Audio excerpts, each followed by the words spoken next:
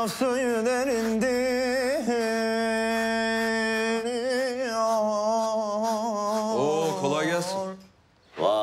Hakan'ım hoş geldin. Hoş bulduk. Ne oldu? Aldılar mı geri? Almadılar. Ee, ne yapacaksın oğlum almıyorlarsa? Ne yapacağım işte antrenörlerin akşam toplantısı varmış. Hep beraber orada olacaklarmış. Ben de gideceğim. Diyeceğim ki bakın böyle böyle. Yani. Oğlum siz niye bunları çıkarmadınız lan? Ha, gerek kalmadı ki. Niye?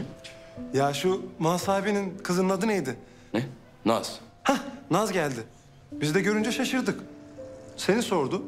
Sonra da ilanı söküp gitti. Ya niye ofluyorsun ki Hakan? Bak ne güzel vefalı insanlarmış, vicdanlılar. Hatır da biliyorlarmış hem. Tabii canım biz takdir ettik zaten. Ya niye karışıyor bu kız benim işime ya? Kaç kere söyledim yapma diye. Yani bu hayatta bir tek sen inatçı değilsen demek. Hani kız da sana benziyorsa demek. Hani yani tencere kapak misaliyse. E bir de kız hoş bir kızsa demek sonuç olarak.